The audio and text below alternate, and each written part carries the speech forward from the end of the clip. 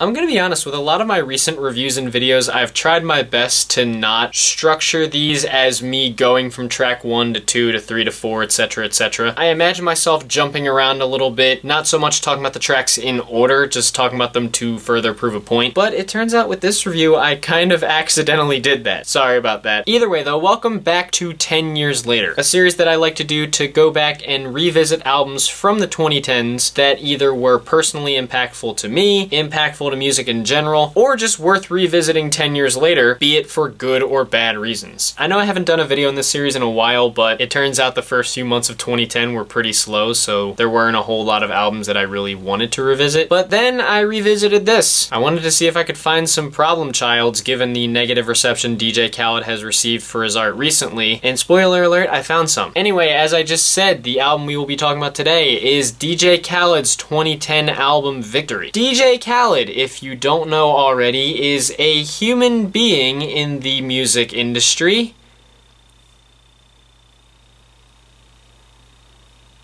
And that's all she wrote. What does he do? I'm sorry, does he actually produce his own music? I am very confused. I don't know what he does. It says he's a producer, but some of the things I found with this album would seem to contradict that. What it actually seems though is that Khaled is more of a music curator. He is a man with a lot of money who can bring in a lot of other artists with a lot of money and make music that could get them a lot of money. Hurrah, capitalism gets to live another day In all honesty, the way I look at DJ Khaled these days, it seems that he's more of a social media personality and radio and TV show personality than he is a musician. Because even though he's dropped music pretty consistently, I would honestly say it's mostly just bog standard radio friendly stuff that just kind of feels like junk food music. Not to say it's bad, but it's not like anything you're gonna want to consistently return to. These days, we know that he does that with a lot of poppy sounds. He brings out a lot of chart topping artists to make make pop friendly hits. With this record, it seemed less like he was trying to make pop hits and more like he was just firmly grasping the hip hop roots. Personally, I wondered going into this record if it would display a more hungry side of Khaled in some way. Like, I know it was his fourth album, but a part of me wondered if the complacency that I've heard people complain about with him was a recent thing or if it's something that I could trace back to this record. And unfortunately, it turns out that I can trace that complacency back to this record. So, I'm not totally sure how to review this. As I said earlier, I'm still not entirely sure what DJ Khaled does other than scream his name on a song, so I guess he does a mop-up job of letting us know he has a name, even if the constant screaming of it does get pretty annoying. But really, that's it. I already know he doesn't really rap or sing all that much, if at all. He doesn't have any writing credits on the record, not that any of this music has much substance to speak of, and all of his producer credits on the record are apparently actually co-producer credits. So again, I'm just not sure what he did with this album and how he is as big as he is. Apparently it was Snapchat, so take notes kids, just post a lot on Snapchat and then maybe one day you'll become as famous as DJ Khaled. But on to the music itself, in regards to the production, there's really not all that much for me to say about it. Most of what's here is pretty bog standard hip hop beats that kind of feel dated even by 2010 standards. I couldn't find one instrumental on this album that really stood out. Every single one was a regurgitation of sounds that I felt like I had been hearing all the way back in 2008. And I wasn't even listening to hip hop in 2008, so make of that what you will. It might not sound as pop friendly as a lot of DJ Khaled's stuff today, but it seems like there's not much he or any of the other producers that work on this album do to make something potent. Ask Khaled and his crew to make you the safest chart friendly beat that he can, and he's got you covered. But ask him to make something with some punch, and he'd probably turn and walk away. Really, when it comes to a record like this, it's more about the singers, rappers, and performers that Khaled brings on, as opposed to DJ Khaled himself. By the way, DJ Khaled's real name is Khaled Khaled. Yes, his first and last name are the exact same. Excellent. Okay, jokes aside though, I don't even know if I can talk about all the performances on this album, because there are like 30 different artists here. I'll do what I can, but don't be surprised if I miss a few. Hell, to be honest with you, I didn't even realize that Diddy and Busta Rhymes were on the intro track, because Khaled actually tried to rap in some way. He spits a verse where he tries to sound inspirational in a way that just feels cheesy and kind of laughable. Does he do that on his other records? Because I hope not. And I know that All I Do Is Win is like Khaled's iconic song. It's probably the track he's put out that's had the most longevity to it. But honestly, I've heard this song on way too many generic sports montages that it did kind of drive me up a wall at one point. I do like the guest verses from Ludacris, Rick Ross, and Snoop Dogg, but honestly, while I love T-Pain, his chorus on this track never fails to make me scramble for the mute button. And then the track Put Your Hands Up has a chorus from Schife, one that feels so incoherent thanks to all the ad-libs thrown over it. And even despite the song having Young Jeezy, Plies, and Rick Ross, none of their verses really stood out in any way. Everyone just kind of sounds like they're here to collect the check. Fed Up is a perfect song title because even after four tracks, I started feeling fed up with this album. And maybe it's the overly busy instrumental on the song, but somehow this track actually has a bad Usher hook. Like, he sounds good, but wow, the production just overpowers the hell out of him, and the auto-tune on his voice is just overkill. Sure, there are some dope flows from Young Jeezy and Rick Ross. By the way, Khaled really knows how to reuse artists, doesn't he? And Drake and Lil Wayne run away with the song near the end, but it's just not like there's anything that's really special about it other than those short moments where a few of the features come in. In all honesty, I think the only real highlight of this album that I think is worth listening to is the track Victory. Even though the piano 808 beat combo is kind of standard, John Legend's chorus is soulful and sounds perfect up against the instrumentals, and Nas's twisty flows and wordplay are, as you would expect, pretty fantastic. But after that pretty emotional track, everything just kind of starts going back to what we'd been hearing before. Really, if you've heard one song on this album, you've heard them all. From the generic Schife and Jim Jones collab Ball to the Birdman Bun B Soulja Boy track Rockin' All My Chains On, you'll find all the generic sounds you want on this record. I know I've also talked a lot about how the hooks on this record are really bad, but wow, Buju Banton's hook on Killing Me is just so committed to lowering the bar. Bounty Hunter also doesn't really do anything special, and not even Busta Rhymes can save the song, even if his flows are kinda cool. Also, Rum appears and tries to tell me that he's bringing real rap back, but apparently he's not bringing good hooks back. And honestly, even if this is real rap, there's nothing he really says out here that's interesting to me other than that he's tired of ringtone rappers. And maybe that second verse where he talks about the industry. Bring the Money Out has a few cool flows from Schife, Nelly, Boosie Badazz, and Ace Hood, but wow, this instrumental is just so over the top and overly glossy to the point where it feels like all four of the artists on it are fighting with the beat to make sure that it doesn't drown them out. On My Way is a posse cut featuring nine different artists, but not a single one of them stands out, and this track just feels like a bad relic of the late 2000s that very well could have been churned out by a number of artists who bordered the line between R&B and hip-hop. There's no justifiable reason for this song to be nearly six minutes, it just feels like a complete wasteland. I also don't know what I expected out of the closer Rep My City, but even with a few neat flows, Pitbull is complete cheese on here. Special lowlight being the lines, not knowing I had a plan for every letter in the alphabet. My life's been diarrhea, boy, I've been through some shit. It's a shame because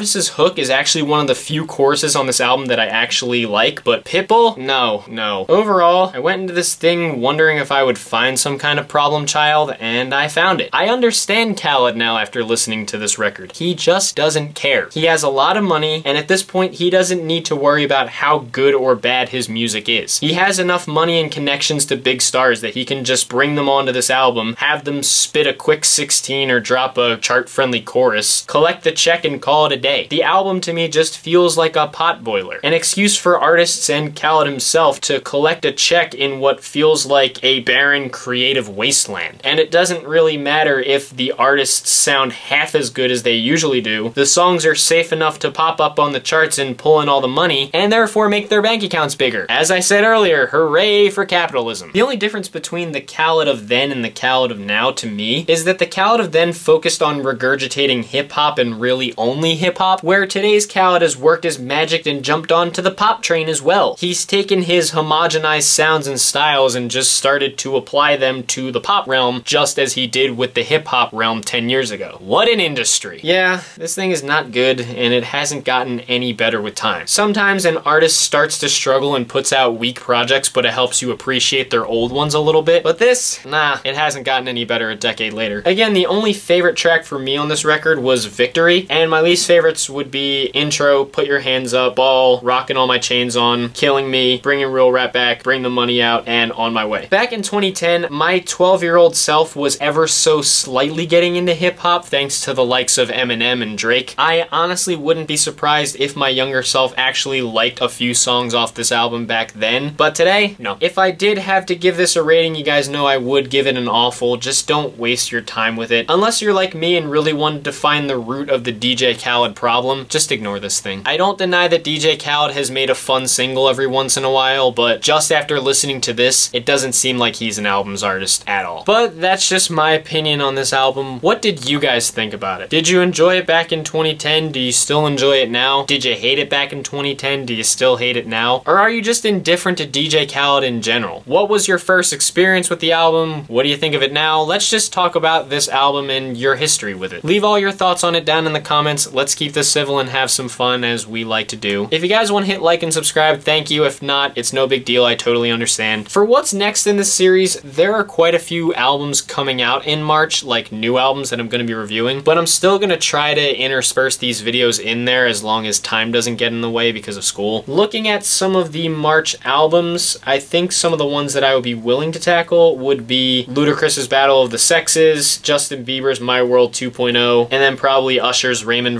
Raymond. Hopefully I can get to them all. I can only hope. But either way, stay tuned for new videos in this segment. Thank you guys for watching this one. I hope you enjoyed it, and I will see you in the next video. Peace.